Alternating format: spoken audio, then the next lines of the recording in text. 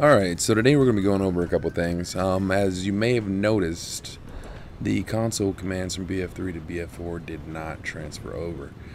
Um, so I'm going to show you uh, the new ones. Uh, this took a little bit of time to figure out. Honestly, not a lot, but it'll save you the time of uh, figuring it out for yourself. Um, the first command up is I'm going to show you how to remove the UI, which may or may not be necessary uh, depending on you know what you're trying to record, etc., etc.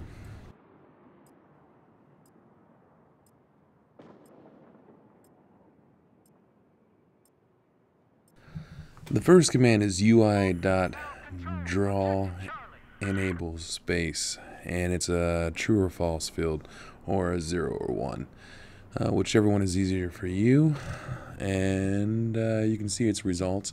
I'm going to go ahead and turn it on again. That way, uh, you know, we can see how everything's accurately affected with the other tests that I'm about to do.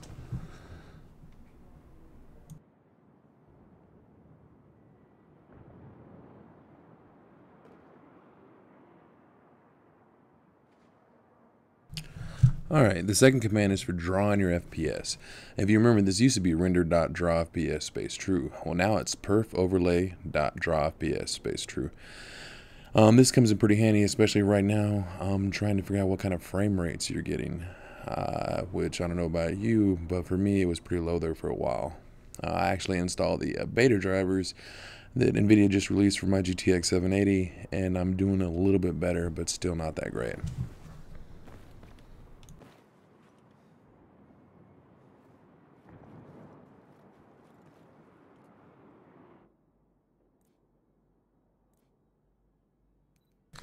All right, actually, what you see right here is me getting curious. Um, what the effect is of going from like ultra to low. Um, I didn't really think it was that huge of an effect. I know games like Metro Last Light going from ultra to low, you see frame rate increases from you know 30 frames per second all the way to 100 frames per second.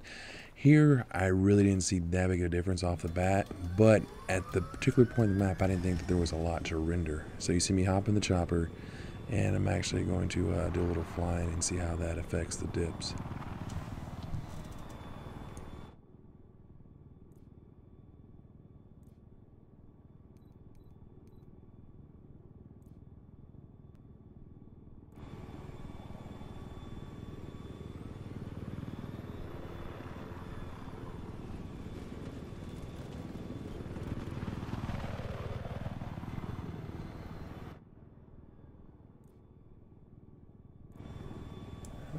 Now I've got to go for a little uh, flight correction right there so I don't hit a wall in the middle of my test. But I'm going to go ahead and bump it back down to low. And uh, I will see a slight difference. But, you know, really what I think is going to make the big difference is uh, driver optimization. Like beta drivers for NVIDIA practically just came out. And that actually helped my setup a lot. I have a 4770K and a GTX 780 which should normally destroy most video games um, regardless of settings.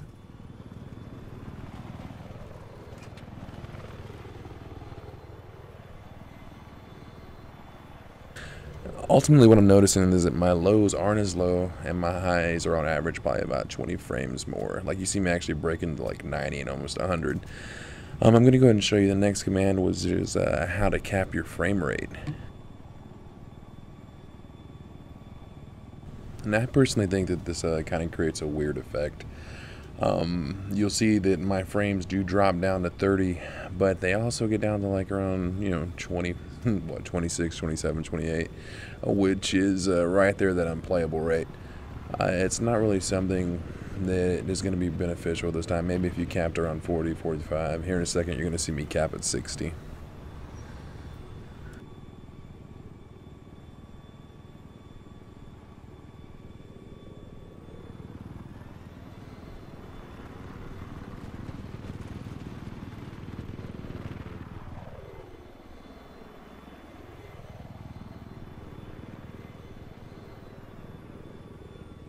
You can still see my frames did pretty well. They never actually dropped below 30. Um, me personally, I've never really been a fan of uh, capping my frames simply because I have a 144 hertz monitor.